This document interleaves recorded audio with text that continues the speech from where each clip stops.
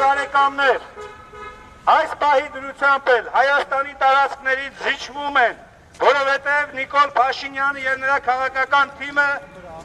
հանձնվել են ամբողջությամբ։ Ի վիճակի չեն պաշտպանել Հայաստանի Հանրապետության սահմանները։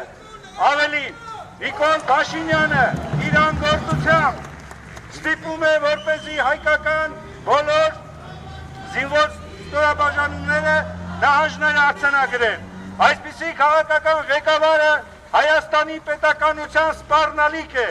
Եթե չմիանաք, եթե չհեռացնենք Նիկոլ Փաշինյանին, կորցնելու ենք նաև Հայաստանը, կորցնում ենք Զանգեզուրը, կորցնում ենք Սևանը, կորցնում ենք Երևանը եւ այսպիսի քաղաքական ղեկավարը ի վիճակի չէ պաշտպանել մեր հայրենիքի եւ մեր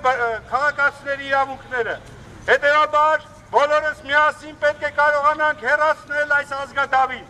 հերացնել այս ազգադավի իշխանությանը, որպեսզի կարողանանք երկրում հաստատել ազգային իշխանություն, հայրենիքի փրկության հնարավորություններ դեռ կան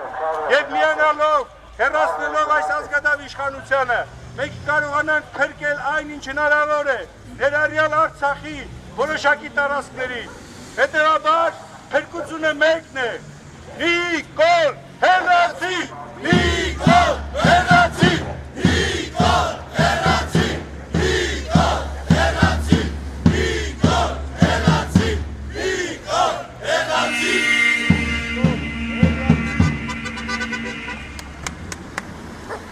Argeli ailen akisne!